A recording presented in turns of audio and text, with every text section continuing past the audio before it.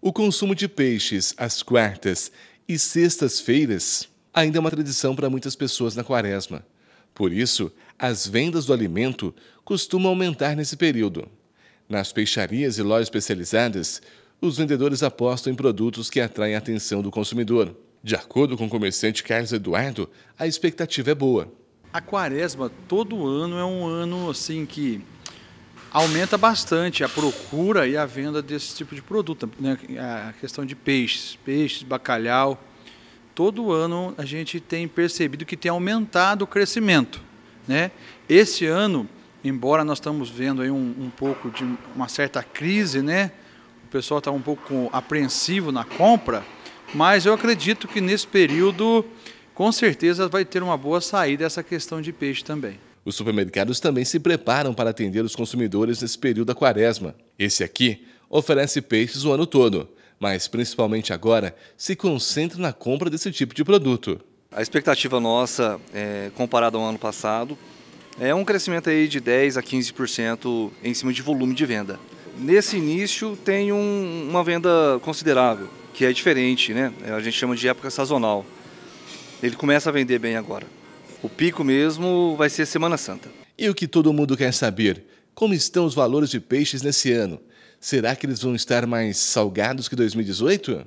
Normalmente mantém. Alguma coisa, algum tipo, alguma variedade de peixe, sim, altera um pouquinho. Alguns para mais e outros para menos. No caso específico do bacalhau, esse ano está um pouco difícil de trabalhar. Só que as importadoras, agora que elas estão começando a repassar o preço para a gente. Então a gente não tem um, um preço defini definido ainda para essa questão. Mas é, a alteração é mínima se tiver a questão do bacalhau. Peixes, alguns sobem um pouquinho, alguns diminuem um pouquinho, mas na maioria mantém o preço sim. É, questão dos preços aí, a gente está otimista, mesmo com a alta do dólar, que é o que impulsiona mais a, o preço do bacalhau, mas ainda a gente acredita num crescimento esse ano. Ah, o peixe congelado é pouca diferença foi pouca, é, acompanhando realmente a inflação do ano passado, né, do ano passado para esse. A inflação foi pouca, então não teve tanta diferença. A única diferença que teve realmente foi no bacalhau. Além do bacalhau, que é um produto muito consumido nessa época, outros peixes também ganham destaque na mesa. Muitos são tradicionais do dia a dia e outros são escolhidos pelo preço mais acessível. É, os peixes que mais é, são procurados hoje são a, a, o filé de tilápia, o filé de merluza, é, bacalhau, né, de todas, assim, de várias formas. O bacalhau sai muito, é, também a sardinha.